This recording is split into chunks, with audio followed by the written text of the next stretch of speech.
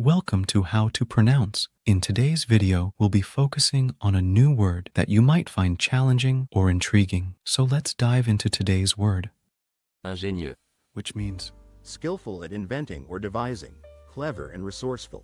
let's say it all together. ingénieux, ingénieux, ingénieux, One more time. ingénieux, ingénieux, ingénieux. Thank you for joining us on this adventure in pronunciation.